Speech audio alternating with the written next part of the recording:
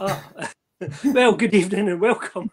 Uh, as you can see, the star of the show tonight is uh, Jeff's beer keg. Um, for some reason, uh, which was a bit unexpected. So, welcome. Sorry. It's Sorry, uh, episode 74 of the Brew Gooders uh, League of uh, Beer and Comics. So, um, a bit of a different um, session tonight. Um, not the usual kind of, well, although we will be talking beer a bit, we will be talking comics a bit, but we've got several guests in tonight. So, uh, joining us tonight, uh, special guest Steve MacManus, former 2008 AD editor. We've also got Dan Cornwell, uh, who who also works for 2000 AD. Um, we'll mention that later on, but also well known for Rok of the Reds and Rok the God. Um, and we've got Benksy back with us again after uh, last time's uh, uh, um, furniture removal thing that he did. Uh, I don't know why we invited him back, but he's back tonight to tell us about the comic book that uh, that both Dan and Steve are involved with. So, without much further ado, I think we need to get them in out of the green room. okay, um, who would you like to bring in? Let's bring in Steve first. We'll bring in Steve. Hi, everyone. Oh, Hey. God. That's- Sorry, wait, There we go. I wanted to put Steve in the middle. yeah, put me in the middle. How are Well, you? Steve. You all right? It's awesome to have you here. Um, obviously, we're going to be talking about um, your new comic book, new old comic book, uh, Blazer, which is coming out a little bit later um, this year um, and is currently on Kickstarter. Um, so we thought we'd love to have you on and tell us a wee bit about how that all came about. Um, and obviously, we've got to start by talking about this novel of yours, The Sheer Glam Conspiracy. So um, this came out what 2019, I think it was. Um, and I have to say, when I bought bought this, I thought I was going to get a kind of true life um, expose of the comics industry. And I have to say, if even 10% of this is true, I'm glad I wasn't part of it back then. so, can you tell us a little bit about Sheer Glam Conspiracy? Hi, good evening, everyone. Yeah, sure. I'm going to just preface this by saying I'm going to play the old git card tonight because I'm going to be 68 in, in February. So I want everyone to realize that if I stumble my words, it's because I'm an old git and not that my batteries run down as a droid's would. Uh, you're So, good yeah. you, you, you, I, I stumble on my words almost minutely on this podcast, so no one's going to be judging you.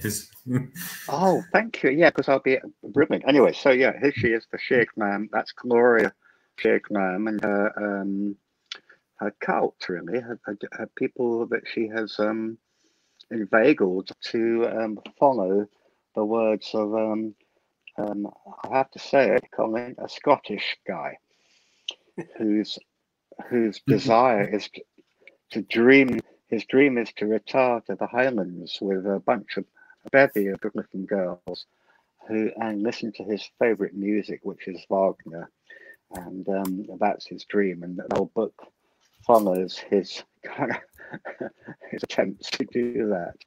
Um, uh, at the same time, there's a company across the road from his.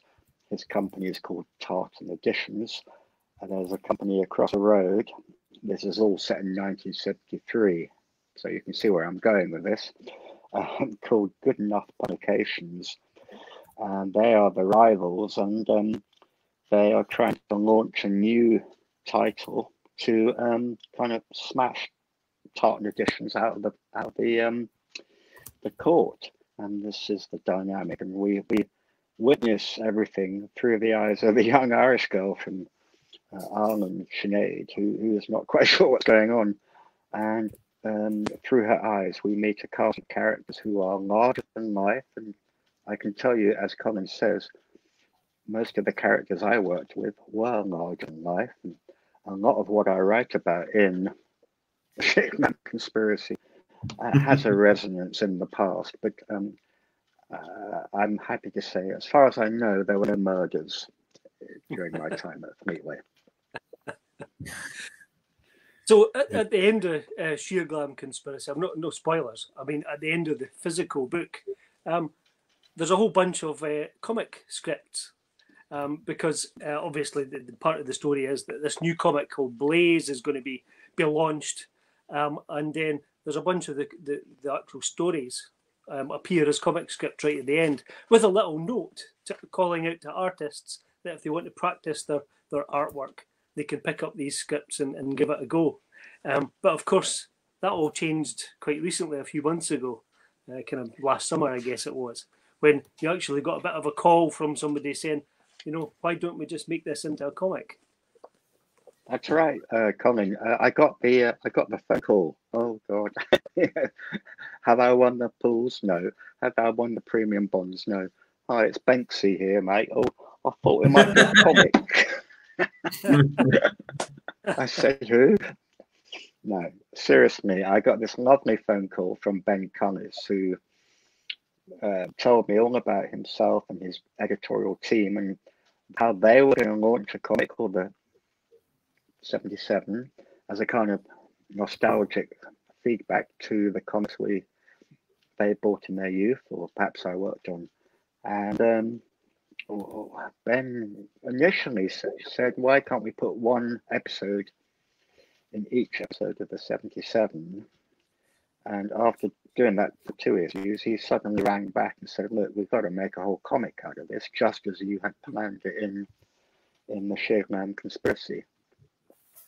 So that's how it all came about. And it was Ben who sourced all the artists, including the lovely Dan Cornwell, who um, is a brilliant artist and um, I, I, love his work. And uh, it's very brave of him to draw one of my scripts.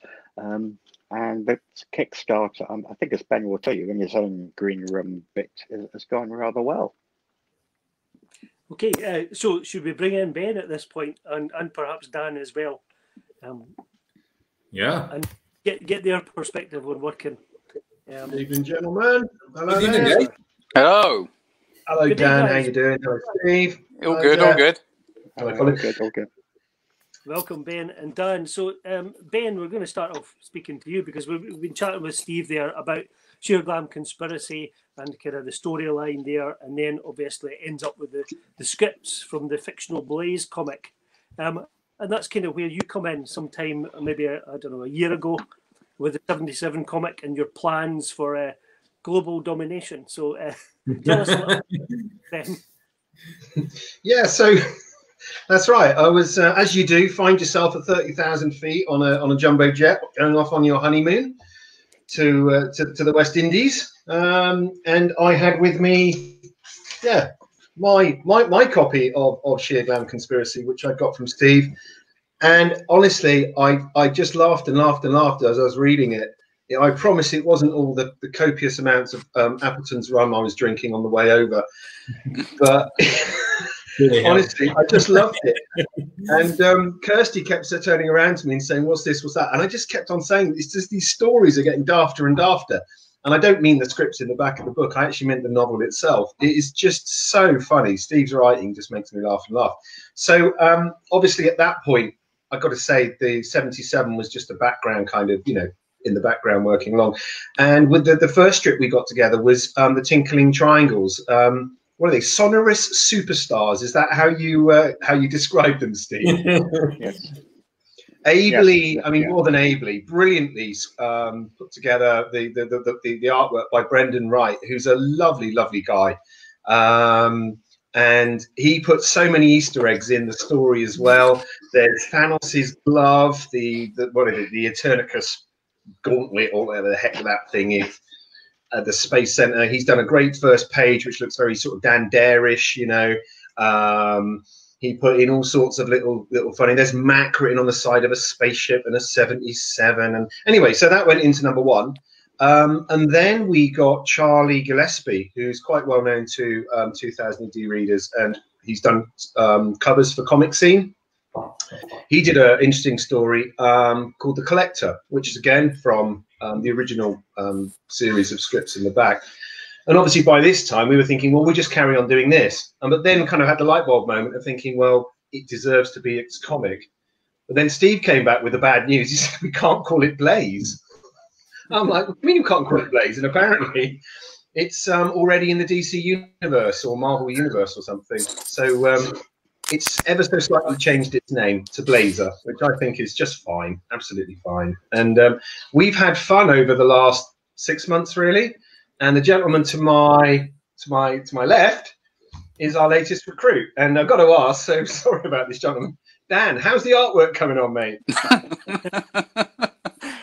it's it's getting there. It's getting there. It's funny you say. I was I was I was I'm working on it this week, um, and I was about to start a fresh page uh, this morning, this afternoon, um, and um, I got a phone call from the estate agent because we're in the process of selling our home, and they oh, um, they said, "Oh, we, we, is it okay if we can bring someone round at four in a, like a couple of hours?" And I was like, "Really? I'm in the middle of work, but you can't turn these things down, can you? Because you're going to get a house sale. You're going to get the house sale." Um, but yeah, it's going really well. Although I did, I did miss a panel out because Steve scripts are done in the f- format that I'm not used to. They're, they're, it's not page one and then panel one. It's just it's just 24 25 different panels, isn't it? And because yeah. I've done the first page as a splash, it's throughout all of my prelims. So I'm sitting there going, but where does that? So I uh, yesterday I was working on all that again, trying to rearrange all the panels and that. But yeah, it's going good. It's going good. I like I like the reference in all the military equipment and things like that. That's uh, that's enjoyable. And drawing all of that old school stuff and drawing jungle warfare. You know, perfect, isn't it? So, so should we drop the point here that actually there is he's up there. Colin, yeah. Colin is doing a strip as well. You're being very self-effacing, Colin, and and and um, you know I've I've already seen your stuff and I think it's fantastic. So only you and Dan really can talk to each other about working on Steve's work because you've had to um, translate the scripts and stuff. So why don't you chat amongst yourselves? And I mean, I don't know, how are you finding this experience of working on such a legend's um, scripts? Well, what's it been like? You know. Dan, I had the same I had the same issue where um, yeah, the script is just a whole bunch of panels, and I was like, how is this like twenty four panels on a page? Or how is this? how, how small am I going to draw these panels? I think that that would be a page turn there, but I'm not sure. And then, oh god, how am I going to do that? And there were one or two bits that I've kind of yeah, it's quite difficult because I, I, I did what I did I, I, did just one page, and when there was a change of scene, I was like when, when there's, when there's a, a, a, drastic change of scene, if you like, um, I like that to be the first panel on a new page, and generally that's the way. But because I've done this splash page and it's all out of sync a bit, this change of scene's like a middle panel of a page now, and I'm hoping it all work. It's not. It's not. You know, it's not a different city or something different part of the jungle. Um, but I'm hoping it works. But not too late. It's I, not too late to sack the artist. We can get a new one if he's not up to it. But am, am, I, am, am, I right in saying this is how it used to be done? This is how scripting used to be. Yes, absolutely. And don't blame me. I, I learned my trade from um, Tom Tully, Scott Goodall, Angus Allan, and Pat Mills and John Wagner and Jerry Day. None of them ever said which page you were meant to be on. it was just here's the pictures, sort it out, dude. well, tell me, Dan. Yeah, don't, yeah. Well, it's, it's, did, don't say that John did Rok of the Reds in the same way, though, right? No, no, no. I did actually email John saying I'm working on the Blazer, this script from Blazer, and, and obviously the legendary Steve MacManus. And I said to him, I go, I've got the script. And I go, there's no bloody page numbers. And he goes, no, no, no, that's old school. That's how we used to do it. I was like, oh, okay, fair enough. He goes, it's down to you to sort all that out. Thank you. That's what you're paid to do. Welcome to episode 74 of the Brew Gooders, where we, where we critique our the way that our heroes write their comic scripts. Um, well, I'm going to I'm going to ask Dan to retell this hilarious story because he did it. We had a show a few nights ago on the start of the Kickstarter, it was funny then and it will be funny now. So come on, Dan, what was your reaction when your printer started printing out all the pages that you thought you were going to be doing for um? Well, yeah, it's uh, you sent me the file for the script, so um, I just send that wirelessly to the printer to print out, and then then I went and made a cup of tea, and um, when I came back into the studio, the printer was still printing. It's just twenty odd pages so far, and I was like, "What the?" So it it, it stopped, and I picked up this wad, and um, it, it must have been about thirty odd pages of script. So I sent you, a, I, mess, I messaged you, didn't I? And I said, "Have I agreed to do all of this? Is this what I've agreed to?" And he was like, "No, no, no. You printed out the entire script for the for the whole book." I was like, "Oh, thank God for that." I thought because I haven't got time. Now, Dan, Dan, were you given a choice of which which script to go for? Um, I think Ben um, gave me uh, a, a, a few. You know, um, he said, "Oh, we've got this, we've got that, and we got that." But as soon as I heard the Second World War one, um, that's the one I wanted to do because uh, you know I've, I, I do in. I've not done one before. I think I did a very brief um, bit of Second World War comic art in a Judge Dredd story where they go to a hotel and um, they can reenact, reenact, re, they can play uh, uh, parts from certain eras through history, and there's a part in it where they're playing the Second World War. So, um, but I, I've always wanted to get my hands dirty on a, a, a good Second World War story. Um, preferably ships, but it happened to be in the jungle, so I'm, I'm happy with that one. Nice. So, so did you just completely shy away from doing the football story? uh, I, don't, I don't think I was asked that, was I? I don't think I was offered the football story. Ah. I think that might have been given to someone else at that point. Um, I think Filippo, But I would have- I would- I would- I would have- Montoni had already agreed. yeah, I would have taken. I would have taken the Second World War one either way. It's, I just, uh, you know, I, I wanted to do something like that. You must be Um, quite fed up with football stories. In fairness, Well, Rok of the Reds, because I, do, I do the illustrations for Roy of the Rovers as well um, in the fiction novels. But Rok of the Reds, there isn't au- It's, it's half and half, or it's probably a, you know, a third of it is football, whereas the rest of it is um, domestic life, uh, sci-fi, you know, and all that lot. So, um, but like I Would it have been a busman's holiday, Dan? Uh, yeah, it would have been. It, it'd be something I'm, I'm used to doing, obviously. But uh, the Second World War, that's the one that you know that, that floated my boat. So that's the one I chose. So when I first met Dan and John, uh, um, Lawgiver, uh, not Law, was Lawless. Lawgiver or Lawless? Lawless. I Lawless. think it Lawless. Lawless. Yeah. Lawrence, look there. You hadn't, you Lawless. hadn't really very long given up the, the buses. Had there we go. Steve's wearing a t-shirt. You hadn't Yeah. gone um, Yeah, long the given up the buses, had you, mate? When was Lawless? Was that um, Two years ago. two years ago? Right. Yeah, so I gave up the buses in eighteen. So uh, Right. Yeah, year so before. pretty year before. give or take a year before. Yeah. Mm. um, again because that was it was um, something I had to give. I was getting more and more work, and it wasn't just comics. I was getting uh, game some game designs for that, you know, for, for um, the Judge Dredd Cursed Earth role playing game, card game, and then computer game company wanted me to do some designs for that. And I remember reading somewhere that you know uh, uh, some advice for artists, aspiring artists, and the thing and the like, and um, they said never turn down paid work. Um, so something had to give. I'm sitting down on the buses. The money I was going to get from the artwork wasn't as much as I was earning on the buses at, at that point, but I couldn't do both. So something had to give, and um, it wasn't that hard to turn down the buses, to be honest. Now, Dan, since we're talking about buses, I had a bit of an idea because uh, Steve here um, is well known as Action Man, you know, and doing crazy stunts to, Hmm. Yeah, to promote comics. And and you know, Dan, you must be about the youngest in the team, so I, I think you should take that over.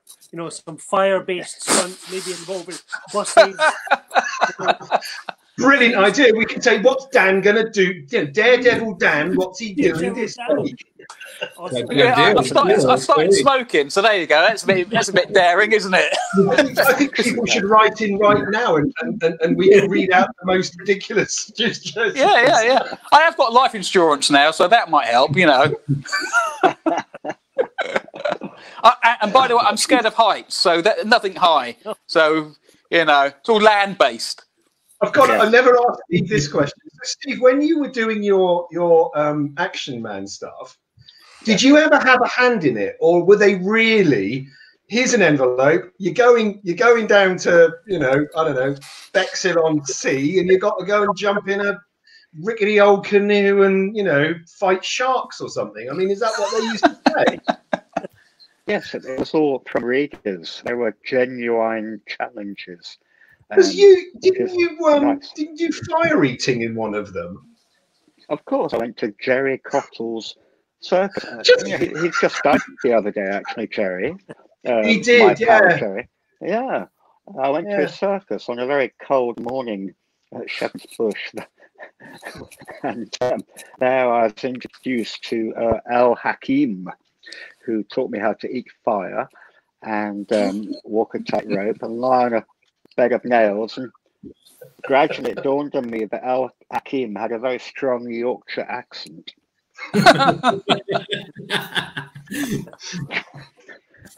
Well, So I I love can having the bench on the podcast is like we, we, we me and Colin can actually not do any work because he's he knows all the stories. So it's like Have you noticed? Look, look how tidy my room is. I'm not moving any furniture. oh, it's, it's Yeah. very tidy. Uh, Dan Dan won't know what we're talking about, but uh, No, not, as not as tidy as mine yet. No, yours is super tidy. Yeah, I'm, I'm, I I've think got it's proper okay. envy. Honestly, that, it's not who- like whose it's, helmet is that, Dan? Who did that helmet?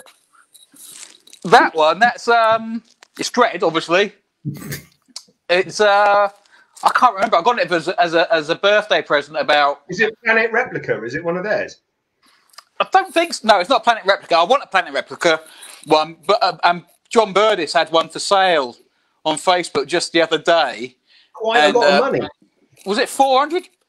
And um, I was so tempted, but y- y- you know, I, I, I've got to pay the bills. I've got to pay the mortgage, so um, I was tempted. I was tempted to offer him some artwork. You know, take some pages off me. But after that last podcast we did the other day, I don't think he'd be that interested. Well, you've got another job now, uh, Dan, um, that, that pays danger money. Yeah, well, yeah. There you go. There you go. Yeah, four hundred quid. But the, the the helmet's sold now, so We should Can say, I- Dan, as well. Congratulations, because you had your first uh, cover for 2000 AD. Oh, this yeah. week. yeah. That's a, Yes, that's a, that's a off the bucket list. That one. That is um. nice. Awesome. Because I've, I've, I've been- I've been working with them for um, three, four years, and I've, I think I've been in about 40 or 50 issues of the prog and in the Meg and whatnot.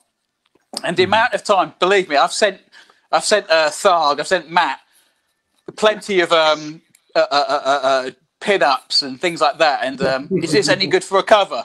And he goes, uh, possibly. He goes, we'll, we'll have it. But um, and he never put it as a cover, and I thought, how long is this going to take before he finally agrees to it? And this one was just really fortuitous. I was just I was testing out paper, and um, because during the summer the ink wasn't soaking into the paper, so I was inking, and then it was just smudging. I was like, I've got to find some new paper to to work on. Um, so it's just a sketch that I got carried away with, and I liked it. And then I thought, well, I'm going to colour it myself because um, most, most, if not all of my work's coloured by other people. And I liked it, so I just sent it to Matt, and he said he loved it, and he'll use it for a cover.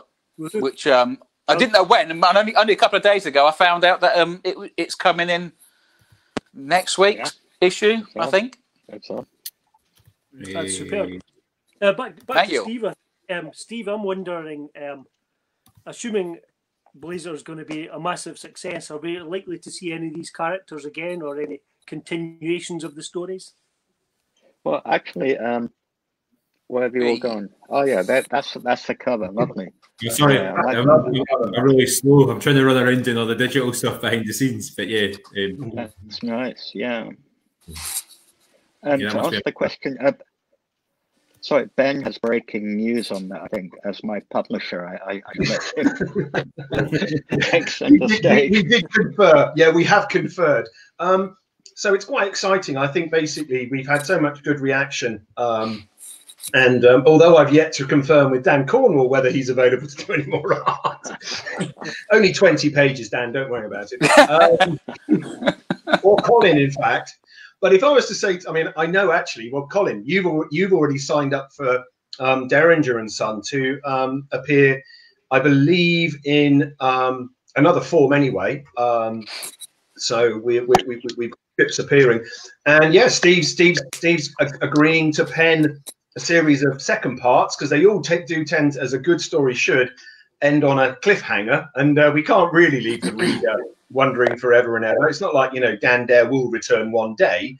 It's famous from 2000 AD, but um, Steve Mack's stories will return. So Blazer Two will be happening, um, and we're, we're, we're fully um, hopeful that that could be this year. Um, and the exciting thing is, is although obviously, as, as as you mentioned, and it's in show the book again as a publisher. I obviously as a rep, because I should be showing the book again. Um, the sheer glam conspiracy um, succession, which I believe, Steve, you're you're writing as soon as you finish this interview. Are you you're going to be going to your writing desk and writing some more? Yes, yes, absolutely. Yes, you're a bloody um, driver. You're like will be coming out at some time. Um, but no, no. The news is that um, following the 77's first annual, which is being worked on at the moment and going to be released this um, late summer and autumn, um, next year there's going to be a Blazer annual. So Ooh. we're certainly going to have an annual. We're certainly going to have Blazer 2. Um, so we're blazing a trail um, or Blazerites. I think you've already coined that, haven't you, Steve? We're Blazerites. Is that right? Yeah, people who love the Blazer. Is that so, going to yeah. be hardback? Oh, it's going, mate. It's going to have a little. It's going to have a little price tag in the corner. You know that your mum used to cut off. going to have all those things. It's going no. It's going to have puzzles. It's going to have pinups. It's going to have old 70s stories in in in single color you know those old single color strips that used to be in the kind of orange or funny green or something. Yeah, yeah. And there'll be a couple of test artists, you know. Dan, artists Dan, everyone's gonna everyone's gonna buy this annual down as well as the 77, but you know the, the, the joy of getting an annual for ah. Christmas. Oh. I, I used to get I think... the Beano annual and it just made my day. But Steve, got, didn't um, you say, sorry, didn't you say, Steve, that the joy was with the publisher in the fact that didn't you say that the in in the yeah go, yeah. Got, that is a brilliant. Hey, no, show us again, Dan. That is a brilliant. I read that with my wife the other night. It is a cracker. It's, it's, it's just, it's just, and as you said, as you said, Steve, when you used to get these at Christmas, mm. I yeah. used to get them. I used to get 2000 AD annuals and whatnot. I'm not sure why it stopped. When did it stop? Was it 91? For 2000? They kind of went softback, didn't they? Yeah. Oh, was that it? It's just not this. Getting the hardback annual at Christmas was, was mm. part yeah. of Christmas. Um, oh, yeah. and I still think, you know, um, it's good that the 77 are doing it. And um, yeah, yeah. Excellent. 77 Excellent. are doing and, the, and within oh, the Blazer one. That'd be awesome. But um, oh, yeah, I, yeah. Why I don't know why 2000 AD wouldn't do it because it would. I think they'd make an absolute. Yeah, I think they would make a killing on it. Look at that! Look at that! That is just solid thrill power, isn't it? You know? Yeah, yeah, absolutely. Yeah. And everyone always mentions about Rogue Trooper's hand not being quite right, so I, I say yeah to that. But Bollenden is Bollendness. Look at that. That's just awesome, isn't it? Perfect, isn't it? I, I forgot how exciting the experience it was until Colin showed up at my door um, in, in, his father Christmas of comics role within the Dunfermline community. But Colin showed up with a, uh, the comics comic scene did the um did the annual thing yeah. last yeah. year, and it's, it's, phenomenal. And uh, yeah. there's so much good reading in it as well, because obviously, so uh, it's it's a bumper edition of, of, of an anthology with just loads of stories in it. I agree. What's better than at Christmas time? You know, I was a kid, you used to hide in a corner, didn't you? You'd hide in your corner, read your annuals. If you were kids like bit of nerd like me and probably Dan and Colin, we'd be drawing, you know, doing a few copying the pictures and stuff. Yeah, yeah. Finding a quiet bit of spot. But I mean, I'm so much looking forward. So um, I think Steve um, Bull, he's already messaged the group tonight. So he's he's doing the 77 one. He's been sat he's been targeted, you know, so given the job of doing the annual. But hats off to the man above us here because I believe that the editors of, of, of 2000 AD and all of the Fleetway annuals used to have to do it in their spare time, on holiday, at the weekends. You know, they had to. Oh, so go on, Steve. Tell us a little bit about making an annual, mate. When did you do that? Well, oh God, where was the time? Um, um, you got you got twelve hundred quid to split between you and the art editor, so it was seven hundred quid each but um, as you say, it all it was all done at home. You couldn't do it in the office because there was no time. Um, there, there's a hero in this story for battle annuals, Doug Church. He would help Dave Hunt out superbly. He would do a lot of work for Dave. Um, and for me, my hero was Robin Smith. He did a, a lot of work on the features for the um, early Judge Dredd annuals. Um, it was Robin's idea that a quiz should be on a cornflake packet, whereas I would have just said, or any other person, well, a quiz is a quiz, you know. Um, so um, it was bloody hard work. I remember taking home 16 pages of Carlos Ezquerra color artwork and um, kind of like just checking that Carlos and John's ideas were marrying up and it was about eight o'clock at night, and I just thought, oh God, I hope I don't lose this on the train back to work. you weren't tempted to colour it in then with some crayons and pencils and stuff, give it a go, you know? Do you, if you stretch, stretch, it didn't stretch to a colorist that money. Carlos, no, he coloured it himself. It was smashing. It was, it was. Yeah, his painted I, work. Yeah. I so Dan, what was your first two thousand, Daniel? Can you remember what yours first was? Um. I think it was about 86, 87. So I only had, and um, I lost, I lost, um, this is a sob story. I lost, we used to live in a flat in, in Hove um, where the, the basement flooded. It was a rented flat, and the basement of this this flat, I didn't know there was a basement underneath our flat. We'd been living there for like five years, and I never knew there was a basement underneath. Um, and it flooded. And this plumber came round and um, explained that it, it, it, all need to be pumped out. It's about two inches of water. Um, and my skinflint landlord said, no, no, no, we'll just let it air dry. Two inches of water across the whole basement. Um, so obviously, so, uh, you know, science takes effect and it just mold. So we had, I had all my 2000 AD collection in the uh, uh, uh, understairs cupboard. Uh, progs, um, magazines, uh, annuals, the works, and um, they all went mouldy and I had to chuck them all out. And we're talking, you know, you know when you collect 2000 ADs, the piles just gets higher and higher and higher, and then you've got to figure out sorting this out, put them in boxes and that lot. But yeah, the whole lot had to go. Um, you know, 25 years, 20 years of collecting 2000 AD and all in the bin. And um, oh, along with my annuals, I did. I think I've still got one annual somewhere. That's what I was looking around for. I don't know where it is. Uh, it might be in a loft, but um, yeah, I've got one annual left. I think. And that's 89, 1989 annual? I've got my, my favourites. I've got 81 and I bought it in a, an antique shop in Cullen, which is in a, the, week, the week after I bought it, that same antique shop featured on a the what's the one where the, the two guys drive around and then they buy was it antique, antique road trip? Yeah. The, the, the, same antique shop that I bought my 2000 AD annual was on a was on Antiques Road Trip the next week and but didn't did, wasn't the eighty nine annual? Did that was that a Brendan McCarthy cover? I don't know. Because um, what happened was uh, had Kano on the front. I I, oh, yeah. I, I was doing the Judge Dredd oh. annuals, and I gave the two thousand ones to Richard Burton to um, edit and stuff. Because uh, for me, my Judge Dredd annual eighty one was kind of like the just it, it was perfection. Um, and I didn't want anyone else to do the next one or the next one. So which one's that? McMahon. It's the color. It's all original stuff. There's no filler. the 82 It's all brand new. I mean, is there an 81 one or is this the very first ones? No, that's the second. Apologies if I've got the wrong one, Steve. Bolland's the 81. Uh, I have a, oh. a shrink wrapped version of that. Can you imagine a shrink? Oh yeah, Steve. Sorry. That's the one. Yeah, brown. So how many were there in total? How... I had that as an enormous poster on the wall. Yeah. Brilliant. How many? How many were there in total? What, was it, did, it, did it start in 77? It didn't, did it? No, not the annual. The first one was dated 81, but it would have been 80, 1980.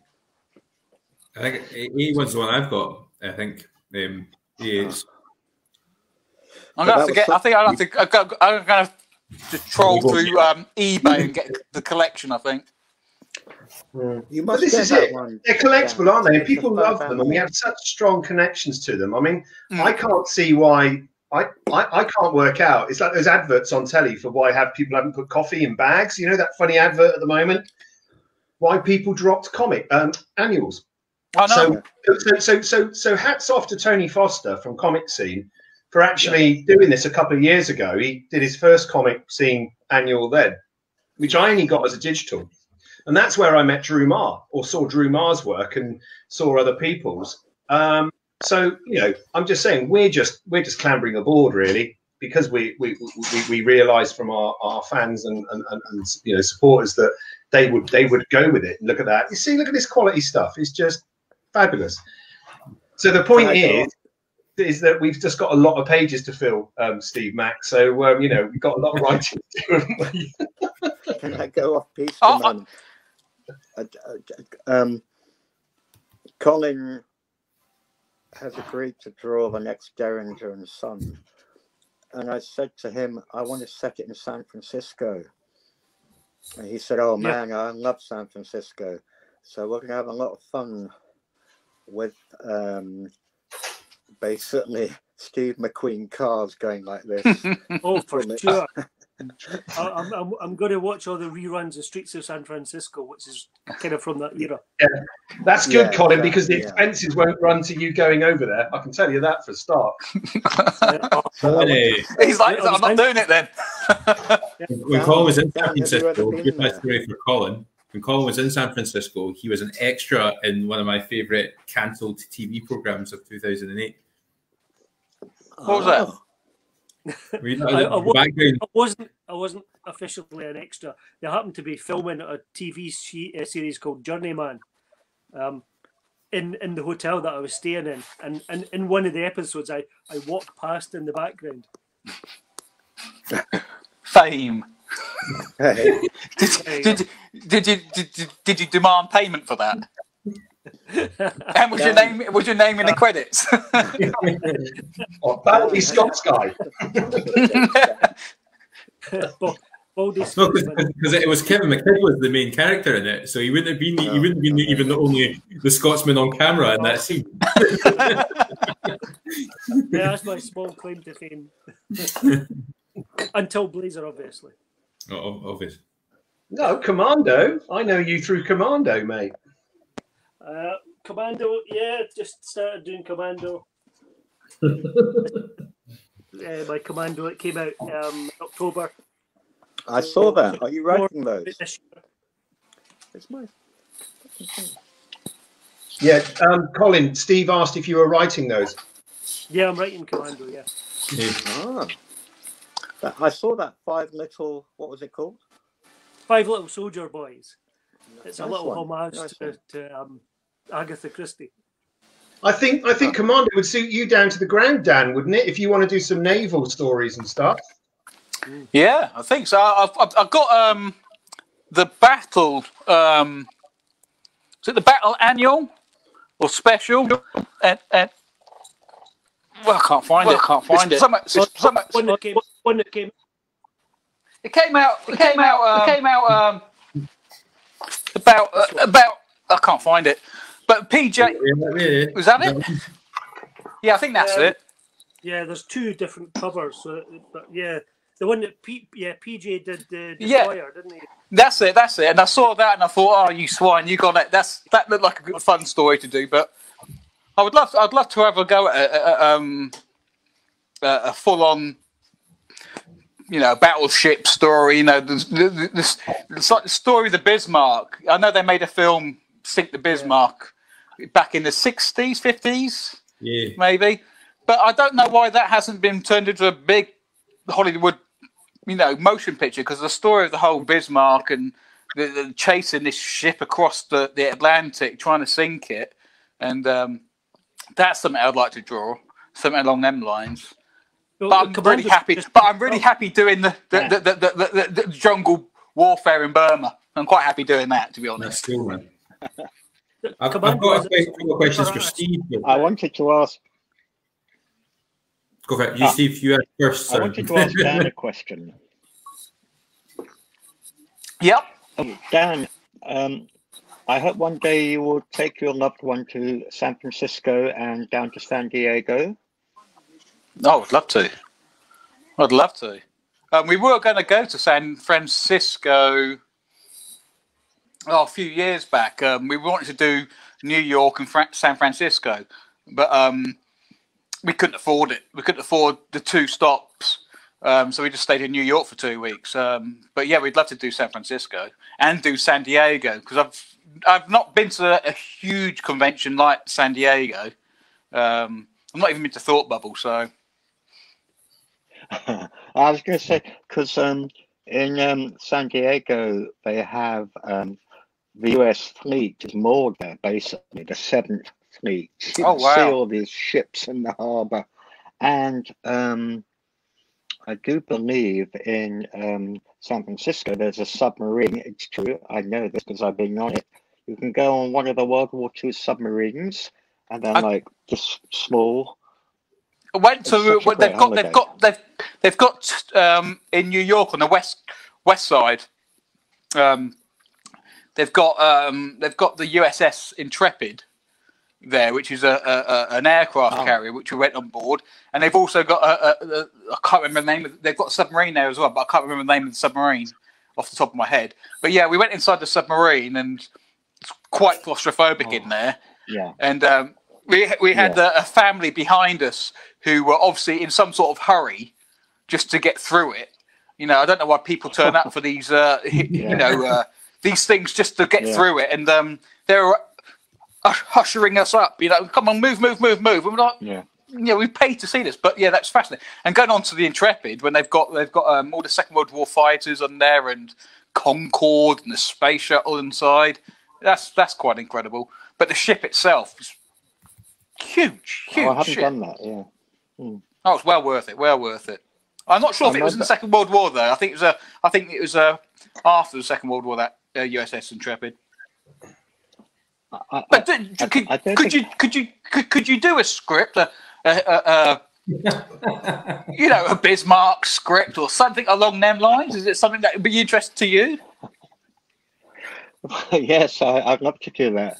I was thinking about the, the best tax, um, the best tax expenses claim ever was by John Wagner, who claimed to go to Alcatraz and walk around there because he That's was then writing the script in Dutch word, I do believe. It's a business. You must ask him about that. But as soon as I read that script, I thought, well, no, it, it, it is claimed this expenses. Amazing. and of course he he read the i mean you're going to talk to him about hms nightshade surely that is the pucker script that you could maybe reinterpret I think I've got that somewhere here as well, You've got it somewhere. Hmm. Hmm. Well, well, Dan's looking for that. You can ask you because I've, I've, Kind I of brought beer along tonight. Can I just ask? I, I'll get annoyed if I don't. And I've got a 13 year old. I'll get annoyed, Colin, if I don't ask. So, um, uh, Steve MacManus is one of the only guests that we've we've had on the show who uh, has a um, has a Wikipedia page. So, so I um I had I had a wee look and um I noticed from um, Steve's Wikipedia page that he has spent time uh, editing Sonic the comic and Ben 10 which are uh, two of my 13 year old's favorite things ever. So, uh, so I, I wanted to talk. I wanted to ask a wee bit about um, what was what was the what was it like going from 2000 AD, which is sort of quintessentially British publication, to so Ben 10's like a I can't remember the name of the, the team behind Ben 10, the cartoon, but just wanted to know what your experiences were like editing sort of names that are associated with other media. Because obviously Ben 10 was a toy that toy turned cartoon. I think and Sonic the comic is obviously a Sega computer game. How how was what was how did the editing of that compare to editing things like Okay. 2000 AD? okay um there's a big difference between those two brands um, Mhm. uh, and I'll be as quick as I can. So we'll start with Ben 10 because that's um, this is a, um, a merchandise brand. They send you the um, the disc with all the images on. You don't have to get any artwork drawn. You just produce a magazine of of um, puzzles and stuff using their style guide. Uh, Mm. It's as easy as peasy. You know, uh, spot the difference, um, quizzes, and obviously there would be a little comic strip they sent me. That was just so easy. Um, Sonic the comic was entirely different because it was quite a few years before.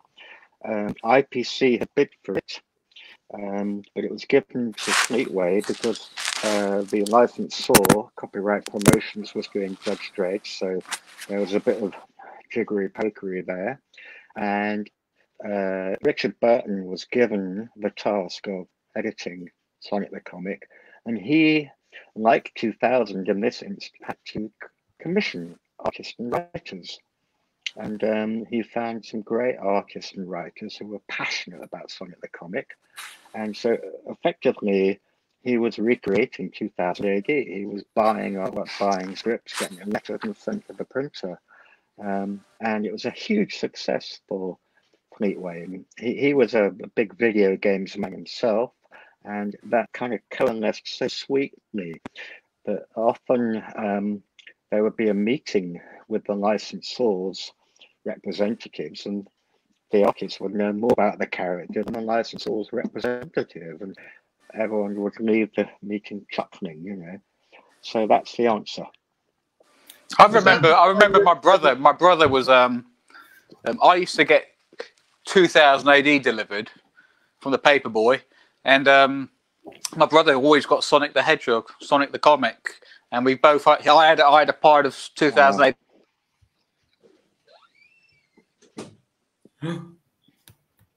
He loved it. He loved it. It.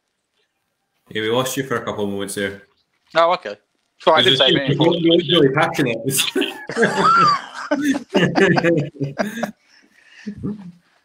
But yeah, he, he my brother loved Sonic. The I've actually I actually kept thinking about buying him a, an original page. Even to this day, I still think about. I still trawl eBay for an original page from Sonic the comic, or or do you remember the Turtles, Teenage Mutant Hero Turtles, a comic in the in the early nineties? Was that uh, Yeah. a page of this or, or, or page of uh, of uh, Sonic?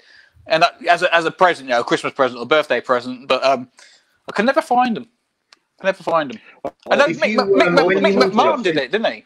Yeah, that's right. When you meet up with Mick McMahon, he's quite happy to knock out a Sonic sketch, and I think it's some of his best work. You can really see where he started doing his new style from Sonic on, onwards. Mm. Um, was that when you were working on it, Steve Mack? No, you see, I never worked on Sonic. It was Richard Burton, then um, Apologies. Deborah Tate took over as editor, and it was her because she and Robbie Morrison were on item, and Deborah crossed over many kind of, you know, she knew Mick, and I think it's a brave, brave thing of her to say, Mick, why don't you draw some Sonic the comic? Um because I wouldn't have said it. I, I don't know why, you know, but she did, and he did. He agreed, and as you say, it came out nicely. So, all credit Mm. to Deborah Tate. um, Oh, I remember uh, seeing an that interview with.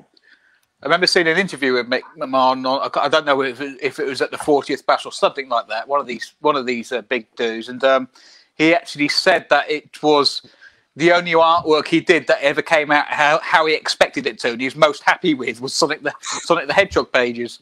You know, you think of all those classics, Sláine and all of that lot, and uh, he said his favourite pages were the Sonic the Hedgehog. Just Yeah. there, But McMahon or Robin Smith? Speaking of Mr. McMahon, here is a here is a picture of our our very own Mr. McMahon. It's Ah. drawn by Mr. McMahon. Lovely. Uh, do you think I can get any money for that? I, I, I imagine you could. I've got a funeral to pay for, you know, because I said at the beginning I'm 68. You know, funerals are five grand a piece now. If, if if Jeff's able to pull up pictures from the interweb, I really like the one that um, a new a new guy who's been working with Sentinel, um, Ed Doyle, did of you, Steve. Do you remember your Christmas Yes. card? the Tharg one. I don't know if you know that, Jeff, Yes. but um, it's got Oh, Steve's the- face as Tharg. It's just brilliant on an orange background. It's absolutely fabulous. And Steve always sends out really good Christmas cards. And um, that was the one that year, wasn't it? It was brilliant. I'll see what I can. I'll see what I can do. Yeah, I, I don't mean to hog Ed Doyle, you this. Um, Dan, Dan, you should do the same thing, and Colin, you should start your own Christmas card. And it becomes a fable, you know. Oh, the Colin Maxwell Christmas card or the Dan Cornwell Christmas I card. did. Do, I did You'll do be one. I a did couple do. years behind me, guys, because already. I'm I did do working one. I did. I did a Rok. I did a Rok Christmas card. You um, did actually. Yes. Yeah, and I did. I did, I did it. I did it. I did it for. I did. I did one for John, and uh, then he, he said, "Oh, we should print them." I was like, "Fair enough." we printed a load, but we haven't printed a load of them. But I've still got them sitting there. So Yeah, well, you have to send them out. To, I, I'm already working on this year's Christmas card with an artist who, who who's very keen, and it's um um it's going to be the title. You, this might give it away. Blue Christmas. Oh. Well, can I talk about giving things away in lieu Christmas? oh, I need a copy of that, Ben. Oh, by the way, Yeah, Dan, I know. I've seen the request and it's going to be in the post, mate. And your t no, shirt. no, I'll, I'll send you the money. I've got to pay for it first, obviously. But uh, Oh, mate, mate, well, that's fine. But I mean, isn't Lou? Isn't Lou Oh. just a fantastic talent? I mean, Yeah. you know, he's just the best man. Mm. I mean, so there we go. That yeah, is- of course, that- no, no problem. that did, didn't that come out uh, just after Christmas though? It, yeah, it was that classic thing. We're calling it the winter special. Because that is such a perfect cover for Christmas. Is such a perfect cover. yeah, I'd thank actually you. love to see Lou do a Rok, actually, to do Rok or or something along them lines. Yeah, yeah, He's yeah. such a good yeah, artist. Yeah, such a nice guy as well. Such Yeah, nice yeah, guy. absolute diamond. But this is the thing Steve's alluding to, not being able to sell things. And we had a chat on our show. And. I think we could all say this. Aren't we missing conventions? Aren't we just missing getting out and meeting everybody? Yeah. You know, it's just oh dear. Well, do you reckon it's going to happen this year? Or do you reckon it's going to be 22 before we see anyone? Just- Maybe the end of this year, huh? The late I think, um, one. I went to there was one in February. I went to with Colin last year, and then you did one a couple of weeks later that me and my youngest came to see you, Yeah. and then that was it. And it's like so, and that I remember at the start of a at the start of lockdown, it being having this kind of in, inherent feeling that it was all going to kind of be over by Christmas, Mm. and the fact that we're now moved into next year, and there's a it sounds like it's going to be, you know, what you say, twenty two, Dan, until we, we start having a Yeah. we start having more. It's, it's, Good The thing, the thing is, it's a lot of people's income as well. You know, you think um, people who do independent comics, like I said to Ben in the last podcast we had, you know, the 77 has been very successful. Um, but it would have been even more so if he would, if it had been launched at a convention to start, because it's meant to be launched at Lawless last year now. Um, Yeah. And the foot, you know, as much as Facebook is good for, for promoting things, you can't beat footfall at a convention. You know, you can sell, you know, I reckon the 77 would have sold, you know, 100 copies at one convention alone. So Thank you, Dan. Absolutely. And then you look at the big ones like Thought Bubble. So Yes, I, I bumped into you guys and I bumped into Nick Roche and Steve Austin, and there was a whole line of people who I knew. And they just said that these places that you choose the right ones and you're working all weekend and you're selling all weekend. And and Mm. all of that's gone, hasn't it? I feel Yeah. because you said, Dan, didn't you say your last one was was it on the south coast you did? And that's no, it was it was Cheltenham. It was um, in Cheltenham, Cheltenham. right. Um, I've forgotten the name of it now. Um, last yeah, it was start of February last year. So we got we Bubble was, Thought Bubble was my last one, and that's over a year and a half now, isn't it? It seems so Yeah, long yeah. ago. But it was um it was it was good. But the funny thing was uh, it was the same weekend i believe as the cheltenham festival. And when we got back a couple of weeks two three weeks afterwards obviously the, the virus and the lockdown and all of this happened and uh, they said one of the biggest spreaders in the country was the Cheltenham Festival, and uh, I was like, well, th- th- it didn't say comic festival, thankfully, because I was at the comic festival. Mad hats when it like it was at the hats that did it. This is Yeah, yeah, yeah, yeah. but um, but yeah, it's, it's, that does seem a lifetime ago now. You know, Uh, it was only February last year, but um, the one before that, I went to Malta. So it was. It just all seems such a long time, a different world, and such a long time ago now. The, the, the, I wonder recruit- whether we'll be able to travel to one out of the country first. You know, Well, th- th- this is another thing. I remember talking to Paul Trimble about um, conventions and organising them because you've got to be an absolute nutter to want to do that, in my opinion. Um, but I was talking to him, and he said that the, the, the, the logistics in all of it is, is a nightmare. But now, after Brexit, it's people have got to get visas and things like that now to get people, and and, and it, it, especially going to Europe and God knows what else. It's just the whole thing is going to be much. I think he said to me, he goes, you, you probably won't be able to get as big the big international stars stars over now because the cost of it might be more because of Brexit and all of that. Mm, yeah, for sure. there's all these other inherent costs that you don't you, you didn't need to consider before, isn't there? That's, Mm. um, By the way, um, we've got a new strontium dog in the house. Jacko is now I probably think licensed. you've got to do something. And, Shaka is now licensed. Oh, that's not going well, is it? Shaka is now licensed to. Uh, uh, oh, is You that the that the preferred pronunciation, Steve? Shako? I thought it was Shako. I don't know. well, you've got me Well, I thought Rogue Trooper was Rouge Trooper. I, I, I did for, for Oh, all my don't teenage years. I used to call it Rouge Trooper. Oh, right. oh my god! Happy Warrior. Yeah, no wonder you never got anywhere. Uh, I was going to say, oh, Lou Stringer. The great thing about Lou is he's not very good at pool. In fact, he won't let he won't play you at pool, so he never loses money to because he. Whereas Ben, You are a you are a So, pool Ben, are you a pool player? not saying you, Colin, Ben, you're a okay. cheat. I was. I, I- I was. Um, I used to spend a lot of my uh, uh, teenage years and twenties in dirty spit and sawdust pubs playing pool every night, and every time I played and won, um, I was always called fluky. Oh, you're fluky. I go, well, you can't always be fluky. You know, there must be, a, you know, a bit of credit. Um, but um, I used to like playing pool, but I haven't picked up a cue for well, a good few years now, especially the last year, obviously, because uh, we can't go into pubs, can we? but does John Wagner not have a table in his house? And not when I went there the last time. He might have got he's got he's, he's got a shed, but it's not a shed; it's bigger than our house. But um, he, he he might have one in storage there somewhere. You Is just he a said- player? Is he? He taught you me just to said play the most, um, the most Oh, is he a I mean, Colin talked a lot about imposter syndrome and stuff like that, particularly as you like. Also, I mean, Colin started this podcast as a fact that the the comic shop in our town all of a sudden got a beer shop a couple of doors down, and that was basically the the justification behind making a podcast. So the fact that we've got like Tharg on the show alongside a guy who's got a cover on 2000 AD. And the guy who's got like the most exciting, you know, the, the editor of one of the most exciting comics of last year, all in one show. Um, yeah.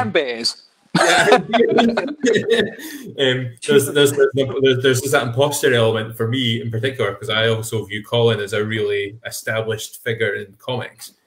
Um, it's amazing just to hear you go. Fucking John Wagner's got like a shed that's as big as a house. You're like, does he? Eh? yeah, no, he does. Uh, he he invited us up. He invited us up because he's as big and scary as he is.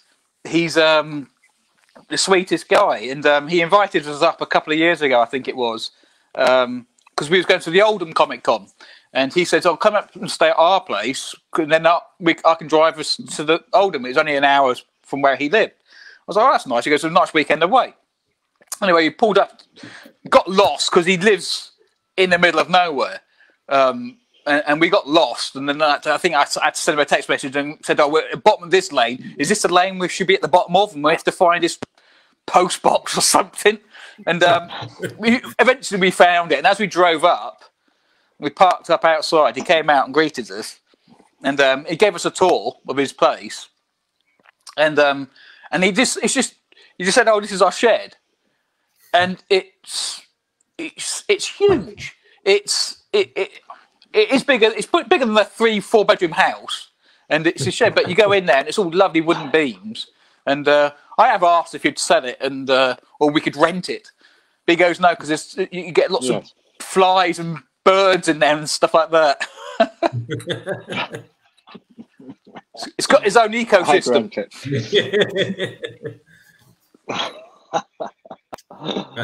so there's a few It was times. John who taught me to play pool. Oh right. Is he a good loser? Just asking. and um, he never loses. Um, No, does he not? He doesn't lose. He's he's so good. Yeah, no, no, he's very very good player. Uh, uh, He's got an advantage all right. though, hasn't he? He's got the advantage. He, he, he's he's almost got uh, uh, um, like the bird's eye view of the table. Well, David Bishop did go down to his farmhouse once and, and won six game games on the trot, but uh, I I think that was just pure luck, you know. I tell you what, I wish I worked for 2000 AD in the 80s, 70s and 80s because the stories and the the, the, the um, you know when when when I listen to the 2000 AD podcast and they talk to the legends like yourself, the stories of meeting up in the pub, you know when when artists before you know they they take, they've got there on a train and hand in the artwork and things like that, and then they all go out to the pub. It's just that sounds like bliss to me, absolutely. But okay, you probably end up losing your artwork, but you know, what I mean, good night. It, it was called the Rising Sun, the pub. And if I was at the table, yeah, queuing up, I'd raise my eyes, and who would be there at the other end of the table but Wagner, Tom Frame, Steve Dillon, man. And um, I wasn't seeing them as comic people, I was seeing them as opponents. Of them. And I knew that Steve Dillon, but however good John Wagner was, Steve Dillon was the fucking best. He pulled off shots you wouldn't know. And the funny thing is, is he was probably the best comic artist as well. Bastard. Yeah, it was uh, extraordinary nights. As I said, I said the other night, I miss it terribly. Really. Mm. Anyway, it is. Mm. Yeah, well, guys, Was that one of uh, those kind of old, um, sort of Fleet Street kind of off Fleet Street pubs, Steve, or was that when you'd moved to Kings Reach and you're all down that end of the, of the road? Because you weren't far from Fleet Street, were you, historically? No, but this was when we were in King's Reach. I mean, there were several pubs, but the only one that had a pool table was the Rising Sun, which was without a doubt the only one um, that was. Oh, it was the most awful pub, but it had a pool table, and um, um, we took it over. It, it, we ruled that pub. It was like some Hollywood movie, you know. No one dared go in there except unless they had a 2000 AD badge on. You know, had, had on the door. Would that be a Friday afternoon, Steve? Did the weekend kind of start early? Absolutely. Friday afternoon at 12 o'clock. Oh, Wow. Wow. do you, see, do you see what I mean? It just sounds like such a good time. You know, nowadays, you know, you know, I'm, I'm not taking it for granted. You know, working for 2000 AD, a childhood dream, but um, it's all it's all via email now. It's not you, you haven't got the, it, it hasn't got the personal touch like the stories you hear. It's just all you know. You send him. You know, I, I've met Matt Smith once. I've met a few of the other artists a couple of times at conventions, but um, it just seems the old days was such a, a close knit group of people and you know up for a party. Yeah. I, I, actually, I'll tell you who was quite good was Ian Gibson. He was quite a good pool player. Um, I can't remember. I don't think Brian or Dave or, um, Mick. What about Kevin O'Neill? I thought he might be a bit of a pool player. Oh, look at that. He's No, found it. I've uh, just googling away. Is this the one, Steve? No, it's not that. No, Oh, no, no. no. You Oh, go no. You know, you got years wrong and years ago, mate. It's probably a McDonald's now or something. it's not there, I'll tell you that. But Oh, Kevin wasn't a pub man, really. Just, just um, Oh, obviously, no, we- actually, well, I take that back. It, it, no, but don't, don't worry, guys. Um, It's probably probably a trendy wine bar now. That's how what happens Yeah. all to all the, the pubs down our way. They turn into trendy wine bars or co-ops. I just like the. Yeah. there was a nice wee segue into Okay, beer there. If I could find that, if I could find the the rising sun front there, but Well, I was going to ask well. So, so Dan, what's John John Wagner's favourite tipple? As in beer or in uh, well, well, he he he normally the times I go out he's he's either on uh, no no no no. I thought it was a Peroni then. Peroni? Um, he likes a he likes a Peroni and um, uh, it generally goes Peroni then wine red wine um, and then he always finishes a night off with a brandy. Always finishes a night off with a brandy. Um, big double brownie. But it's normally it's normally a Peroni he likes lager wise and uh, uh, uh, uh, yeah red wine. But I'm sure he'll drink anything. And you- you're on the Corona tonight. You're a very on-brand Corona. they, yeah. this- they're cheap. They're cheap. They're cheap. Here. Did, did, did, did everyone see that Facebook post of quite a while ago where, oh, you know, when everyone's was panic buying bog rolled and all of that lot, but you go down the beer aisle and all the beer's been obviously bought, apart from the, there's a big stack of Corona still sitting there. My favourite one was it, was it was inside of a fridge, and there was like uh, all the vegetables in the fridge were in one corner wearing masks, and there was a bunch of So my my Kirsty asked me to to say because I'm not drinking beer, but she is. So I got her this today. So Atomic IPA.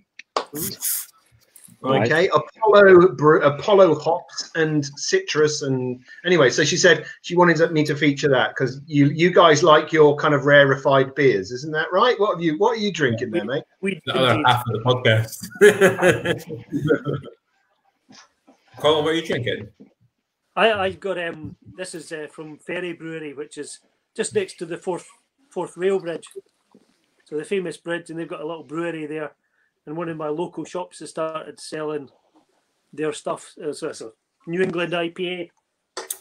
What did you think of that shot, Colin? Sorry, sorry, sorry for uh, the, the part of the, co- the the podcast where we blather about small corner shops in Dunfermline. that uh, that shop in Tooks, amazing, eh?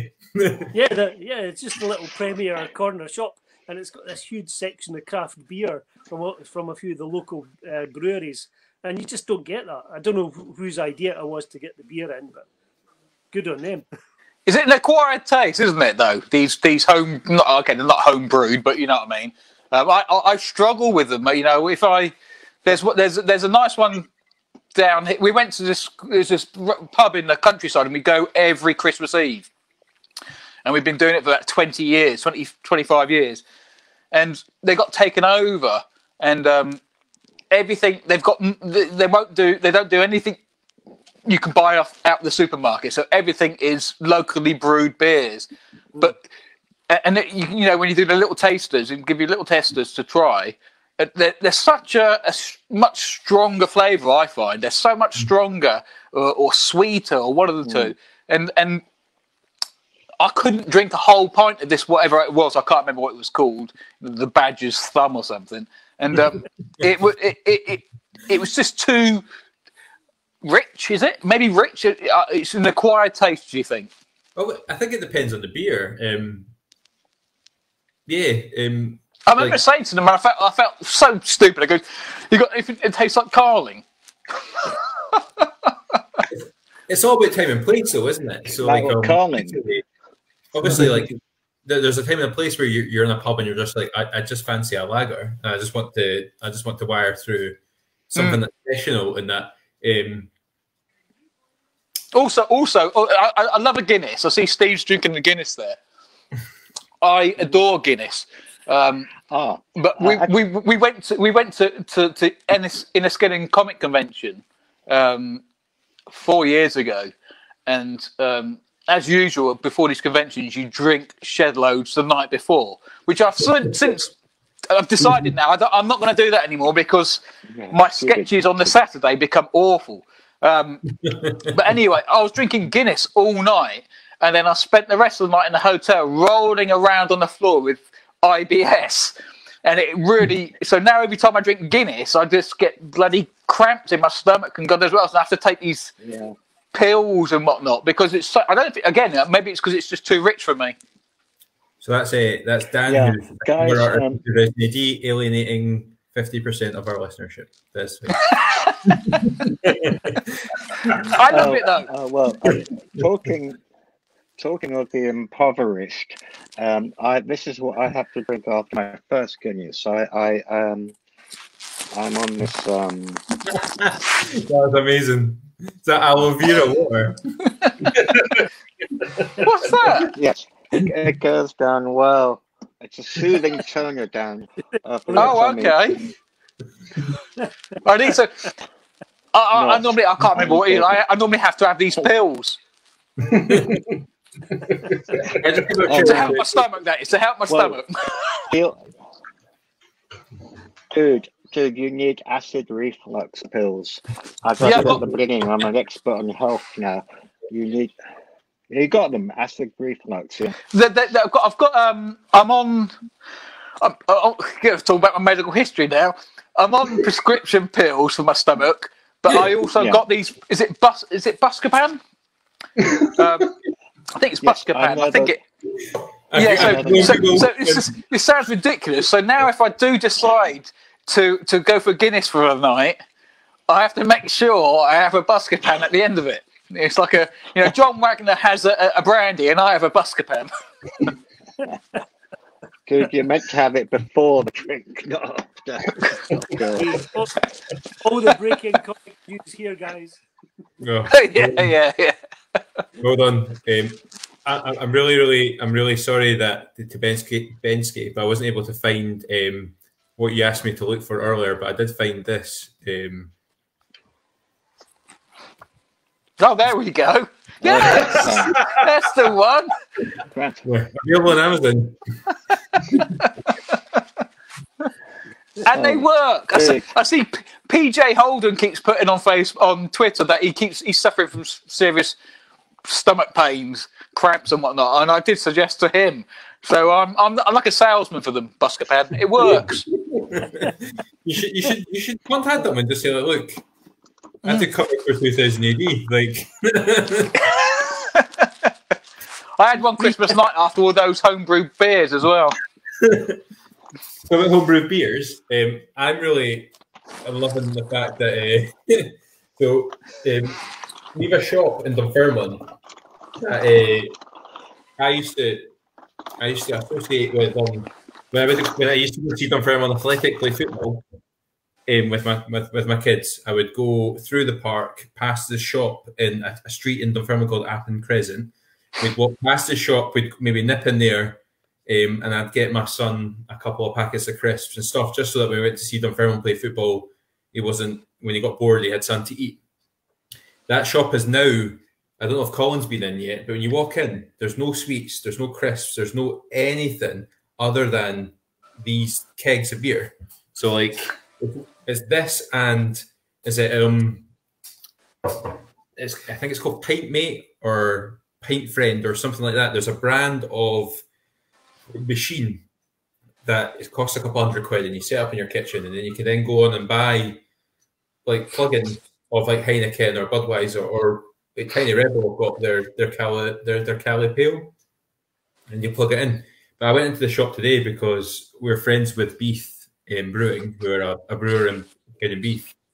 Um, and they've got a couple of their kegs. So that, this is a 7.2% New England IPA um, from Beef Brewing that called Dance Monkey, which is probably my favourite beer at the moment.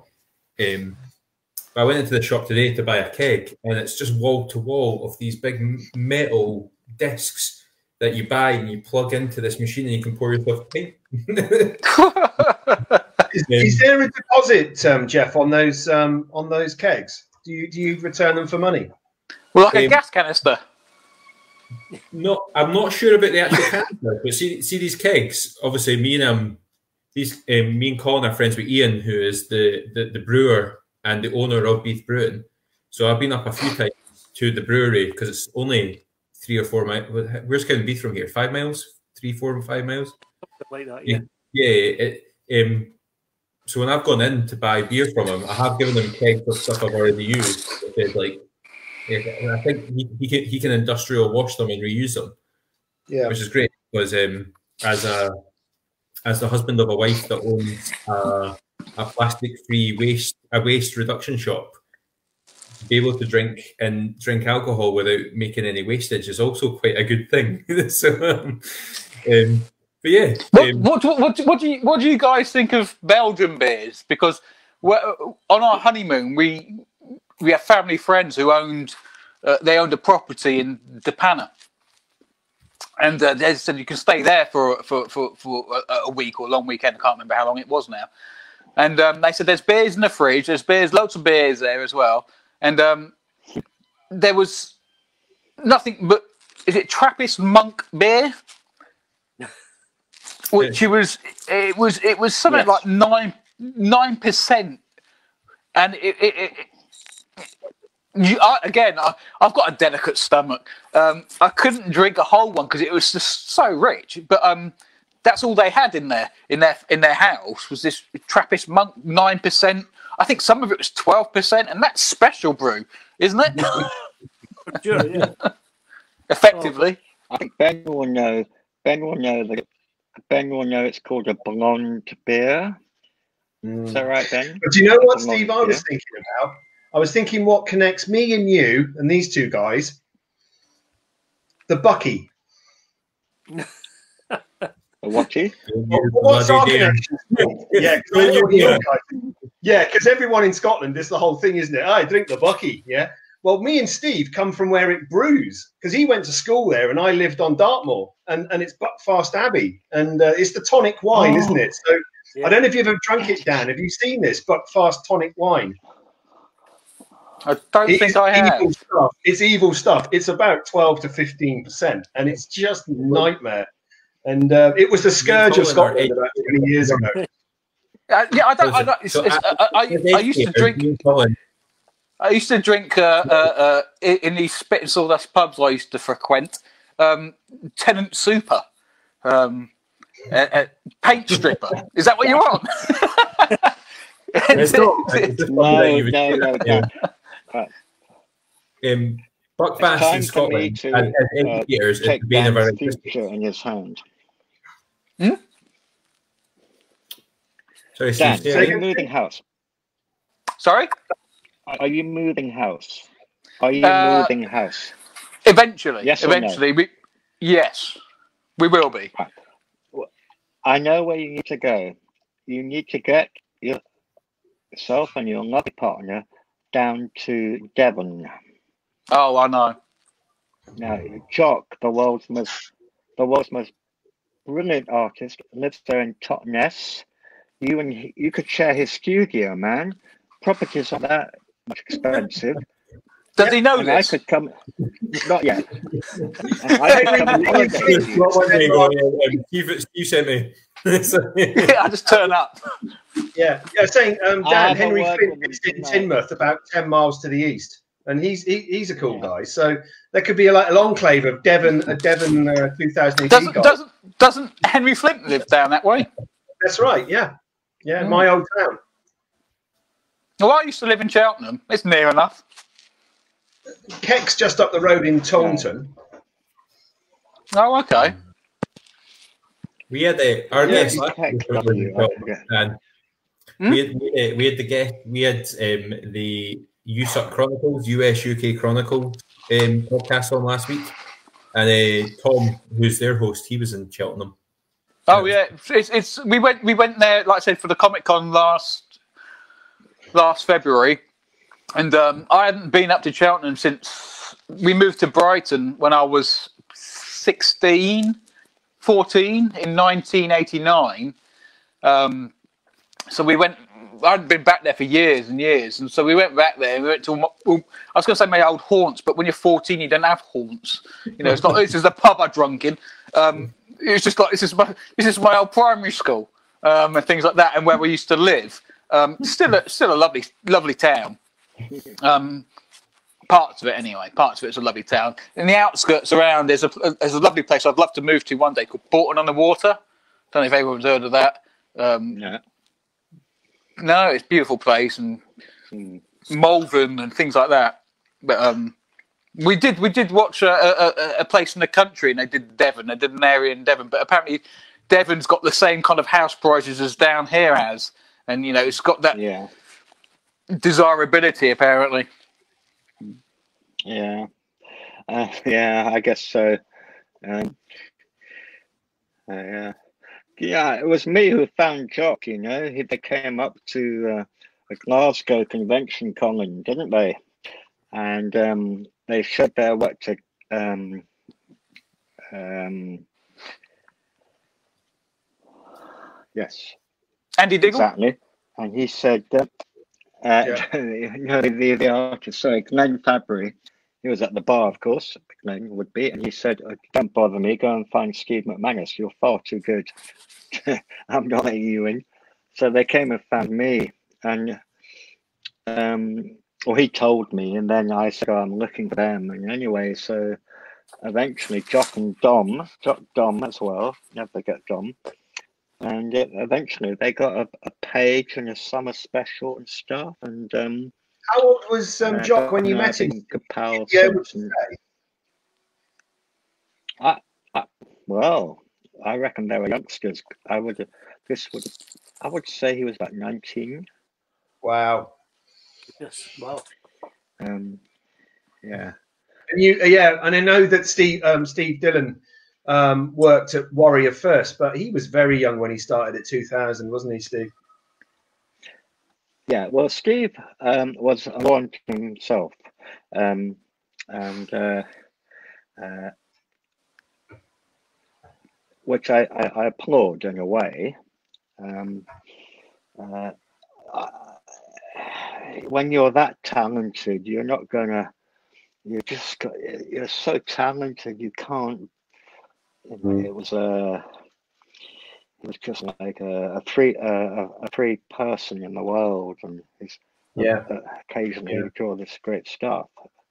Um, I mean, some of his earliest work, you look on his Judge Dredd, you know, Damnation and all that, the werewolf story. I mean, you know, and the guy was 20, 21 when he did that. You know, it's just, just nuts. Absolutely nuts. Just brilliant stuff. He, he's he, he, he for me. He's he. Whenever I see his artwork in the collection, Steve Dillon's artwork, it's it's so inspiring. You, you know, the, the, he was such. Um, I know his later work was um, coloured.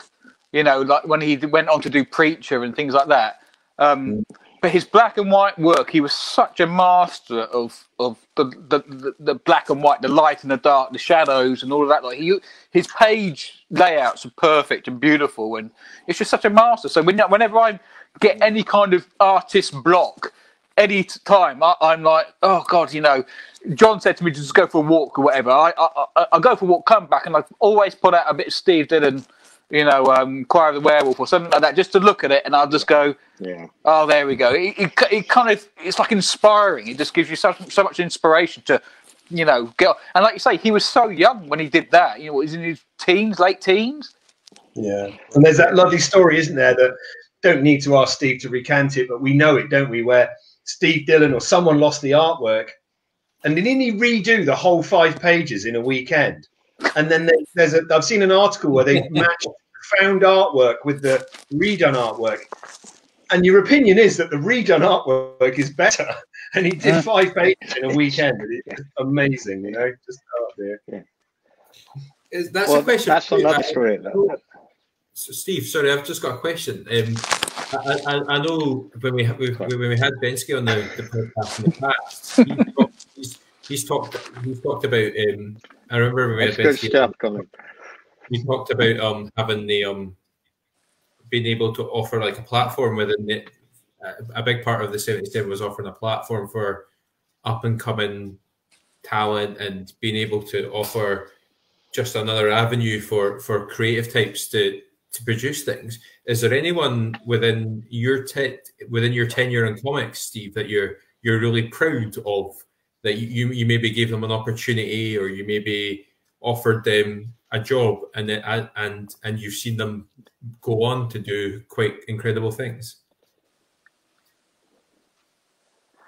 That's such a good question. And I can answer it quite quickly on the writing. Uh, well, it's a skewer, but I'll take it. Um, on the writing side, John Smith. I still stand by John Smith. Who Swimming wrote, in Blood's a masterpiece. Yeah, yeah exactly. Uh, I don't know if he, if he, should be writing comics, but um, I stand by. Uh, and uh, actually, John Wagner said a very funny thing. He said, "Watch out for his left" when you met him, but that's another story. Um, in terms of the artwork, um, that's John for you.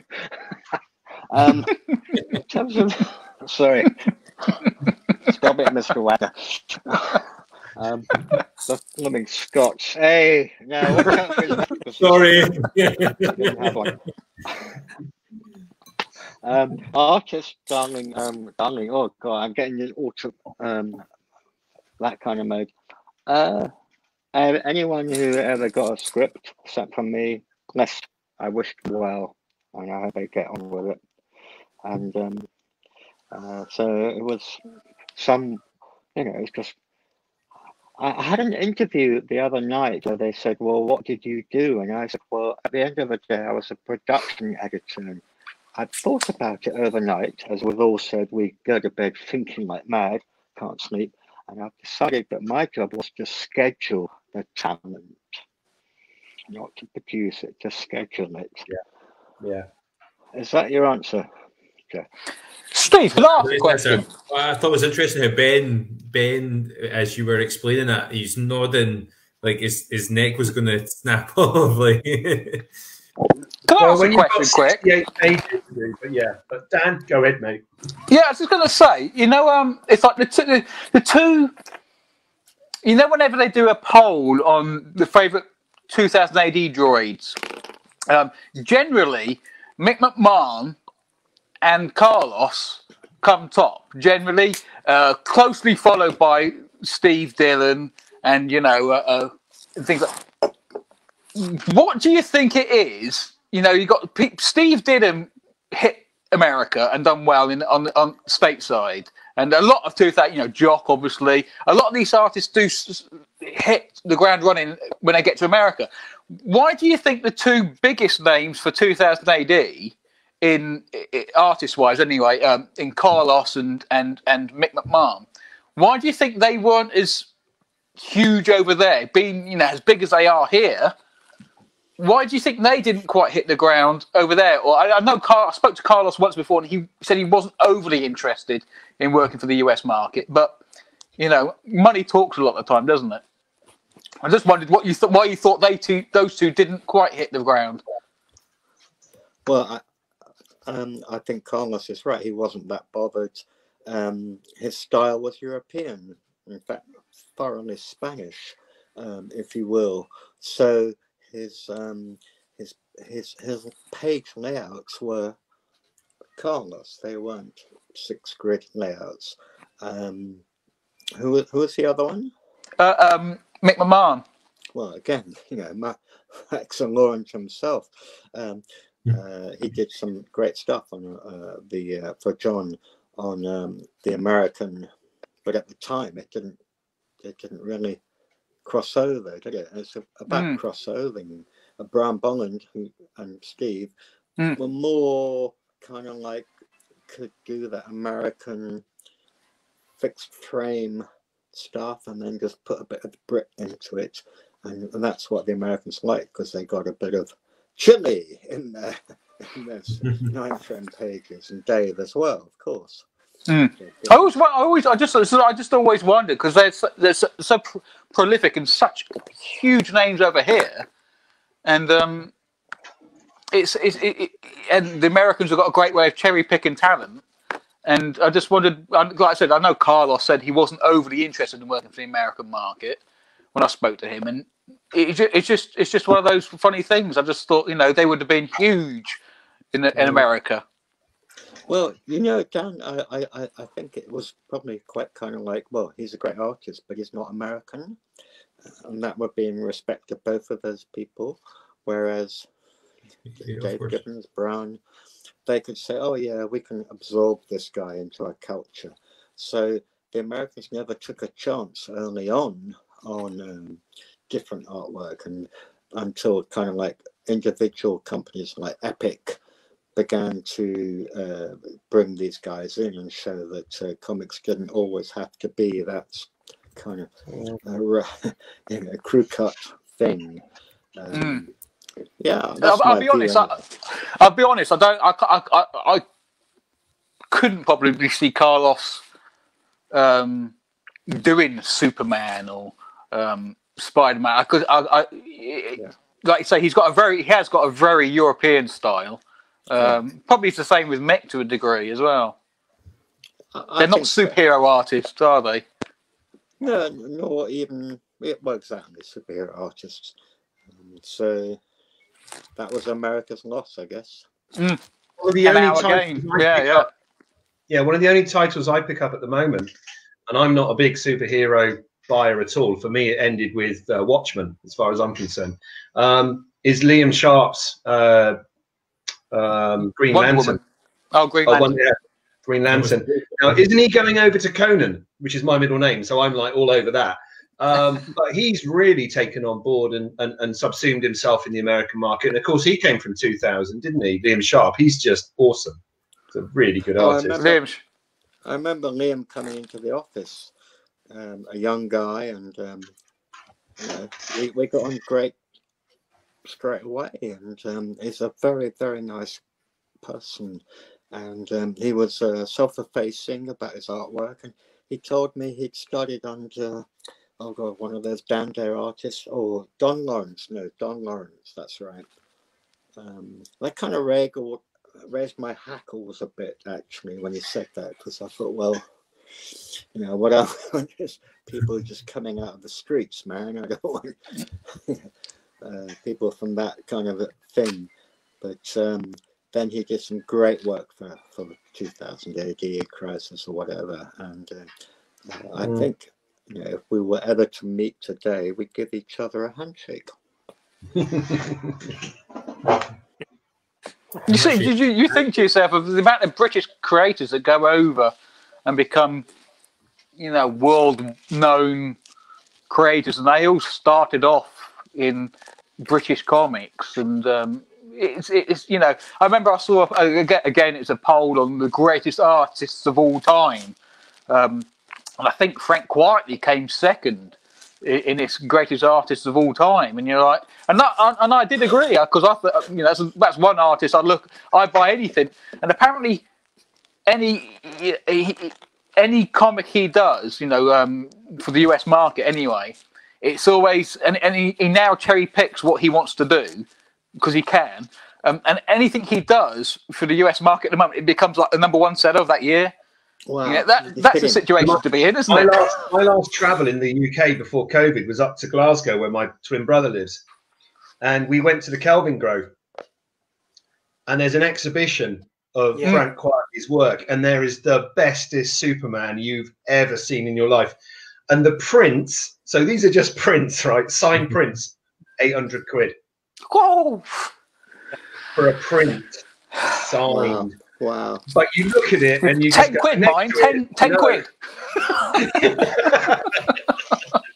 As- as- Well, this is in aid. This is in aid of the um, Kelvingrove um, fund or something. There's a picture of Superman flying over the Kelvingrove, yeah, which is kind of cool. It's kind of cool. Yeah. Yeah, I, I was in the the- office. Um, you talked about uh, artists, uh, Dan, there because um, one of my um, one of my favorite other Dans is Dan Abnett, and I Oh, okay, yeah. imagine he had a very similar um. I imagine he you were talking about kind of artists there and moving over to America, but then what um the it's it kind of takes me back to my original question for Steve. Um, I think if you look at Dan Abnett and you think of he is a he's a name that many people won't know. I think a lot of people throughout the world won't know. But actually, if you if you looked at what he has contributed, Yeah, he's So- got a body of work. yeah.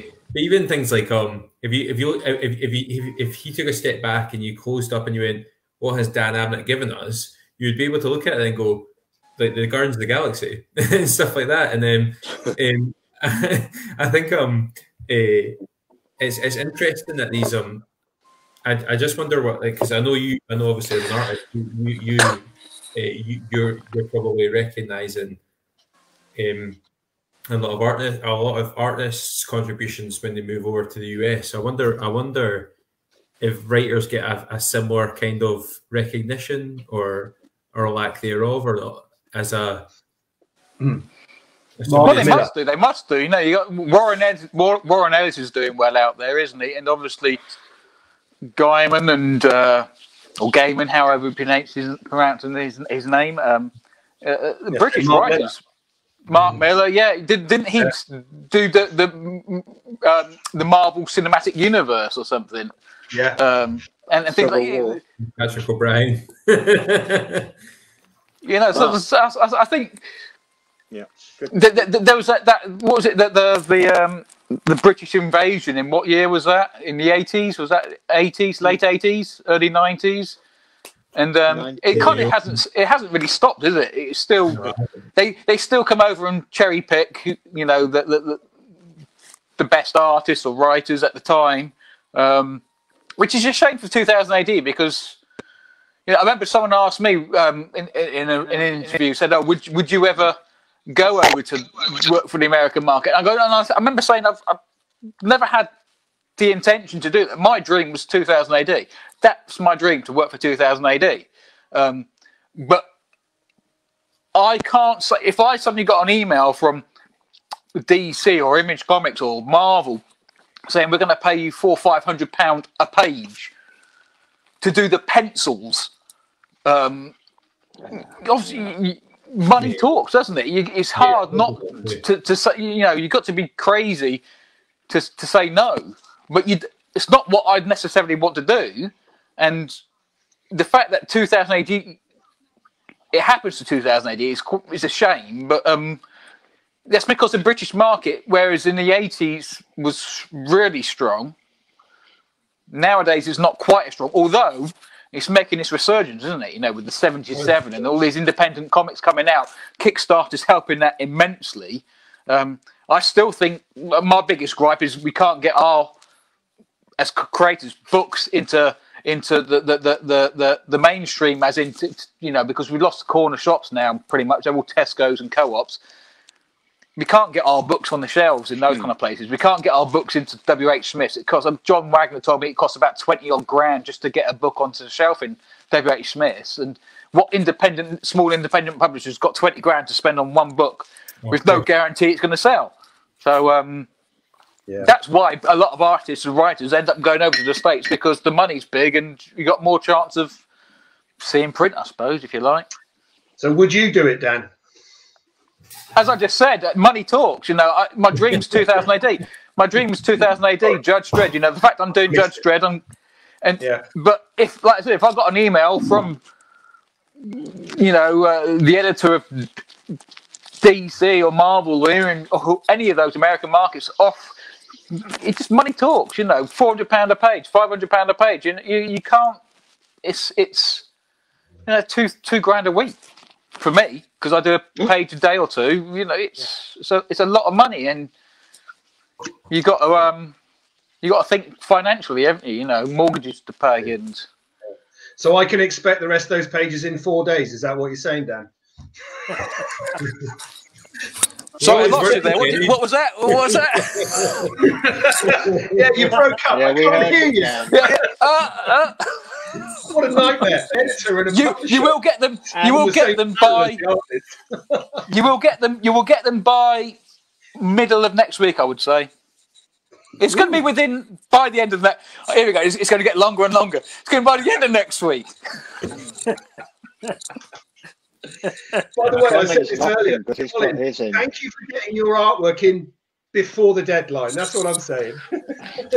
Colin, Colin, my deadline was the end of February. So if I get it by the end of the week, it's it's it's a month early.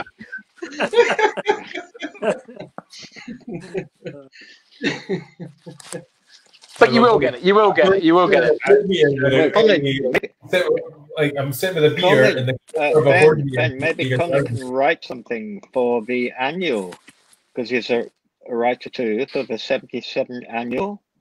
Maybe Colin, Colin yeah. write something. Yeah, I would absolutely love to write something because, uh, and and you know, Dan, Dan was saying he's got his dream job, kind of doing 2000 AD, and uh, writing for Commandos is my was my dream job as well, and you know, so that that's been achieved, and um, I'll keep at it. But yeah, interested to do lots of other stuff as well. What a title commando is. Is it five and a half thousand editions they've they've, they've brought out now? Yeah, 60 years years old this year. Just amazing. I don't think he gets the credit he should get. No, I don't think so either. No. It's pretty amazing that it's still still on the go and uh, has a huge following. And I've discovered how many people love it Hmm. abroad as well.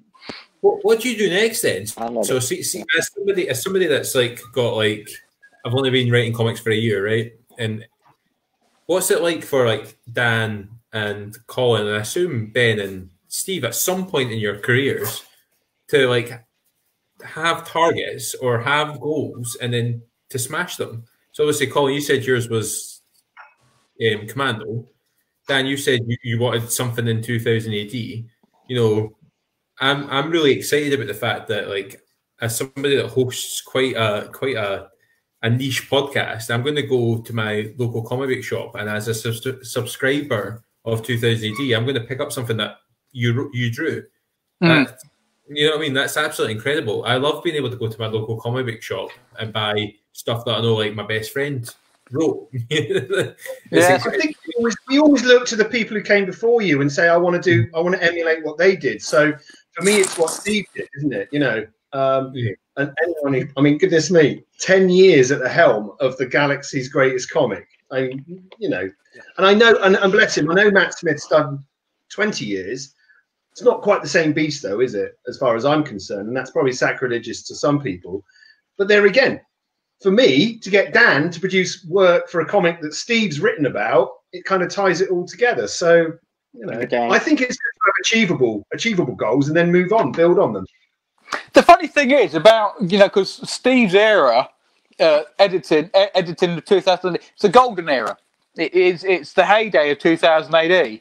Um, not that it's my job to comment on how 2000 AD is run, but um, it, it it's never going to be able to compete with um, 77 to 91 that kind of era because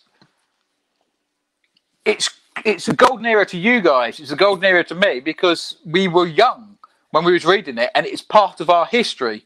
Um, if you come back and do a podcast in twenty years, thirty years, will there be kids who are reading it today saying, "Oh, the Matt Smith years are the golden years because we were young," and and, and, and things like that. So I don't I don't want to It's- suggest it's- that things were happening. it's, it's, it's hard. It's hard because you know no one's going to say that a Judge Dredd story out today is going to be as good as a Judge Dredd story from the golden days because I want it's to question why that was though, Dan. So like um bef- before I, I know that we're we're treading on and this is our longest podcast ever as as as in counting. But um Forever and ever and ever. is, Keep a going, question, guys. is there a question for Steve about like when, when when Steve was editor? So you said like the golden age was seventy seven to ninety one.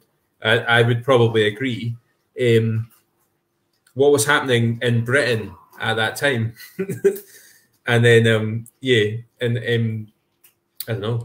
I think, But a I lot, of think pe- a lot of people were reading comics then. You know, Steve, what was the, what was the circulation then? We got to be you know 100, 200,000 a week.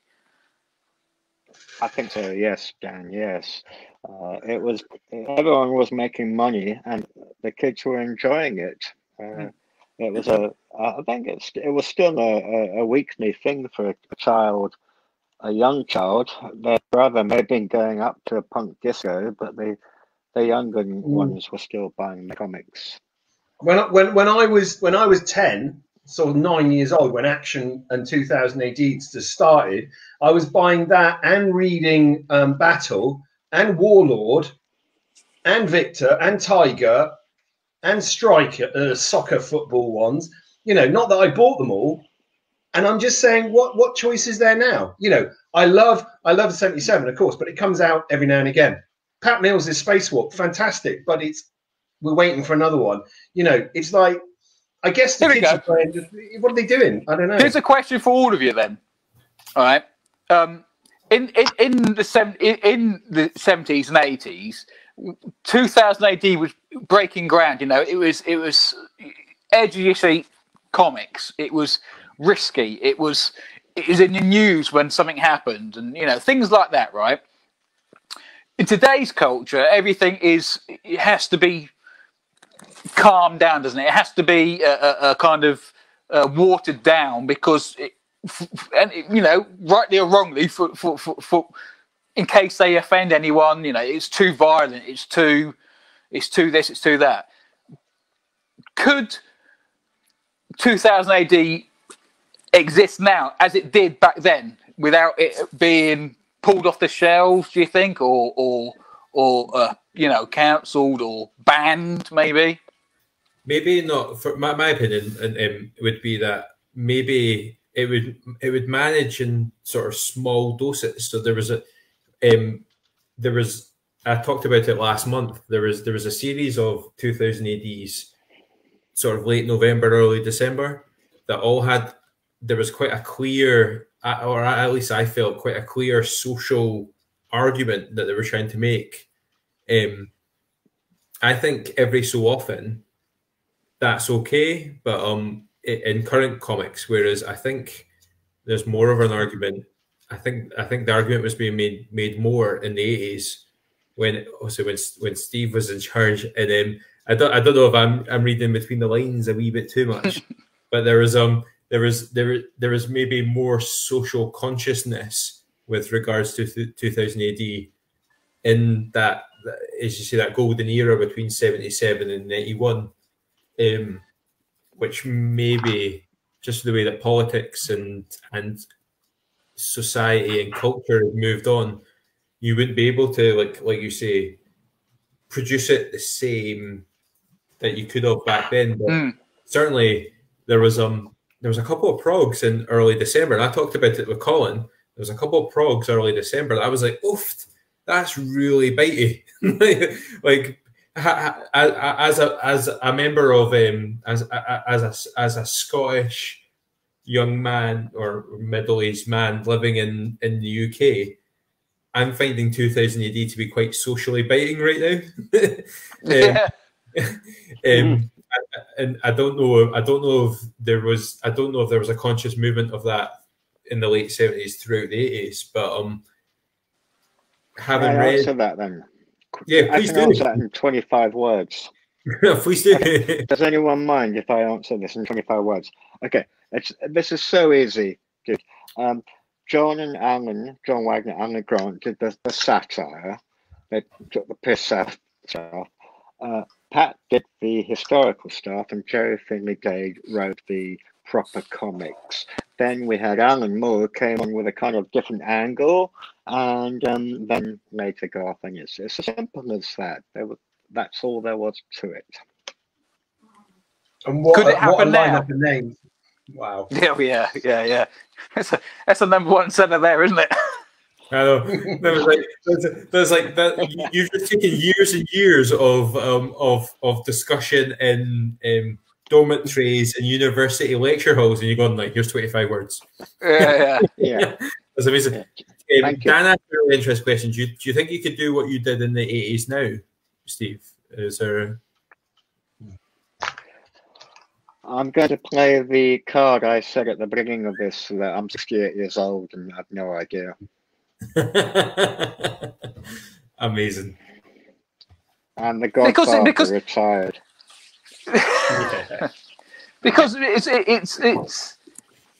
I just find um, 2000 AD. It, it gets kicked quite a bit social on social media and in forums and whatnot, and um, I, am not sure if it's justified because I think there's such it, it's like a losing battle. You, you, try to do groundbreaking stuff, but you have got to do it within a, a certain amount. You can't you can't it can't be so you know offensive to some people because it'll just get taken off the shelf. So they they, they, they, have to tread such a fine line, and mm. um, if they if, I, I, don't like using the term, but it is cancel culture, and if it was to cross that line, it could quite easily just, uh, you know, rebellion could just say, "Oh, it is, it is not worth our while," and um, you know, take it off the shelves. Not that I think I don't think they would, but um, you know, in, I just think in the seventies and eighties, it was there to kick people in the teeth, wasn't it? Two thousand AD, it was meant to be that kind of thing. Whereas I don't think it can probably get away with doing that quite as much nowadays. I guess it, it's about who it speaks to. So for me personally, the strip that spoke to me is one of the least remembered ones. Um, Pete Milligan, Brendan McCarthy um, did um, sooner or later. And the first book of that is basically my story of unemployment in the early 80s mm-hmm. as a teenager, struggling well to get work and find any meaning at all. And there's this conversation, these three bubbles on this on this panel and this is I'm going to leave it with this, right? Because I have to go in a minute. Mm. So there's two punks. They're talking to each other. One goes, "Ear." The other one goes, "What?" The first one goes, "Nothing." And that was all the conversation was. Ear, what? Nothing. And for me, I went, I know those guys. In fact, I'm about to go and score some draw off them.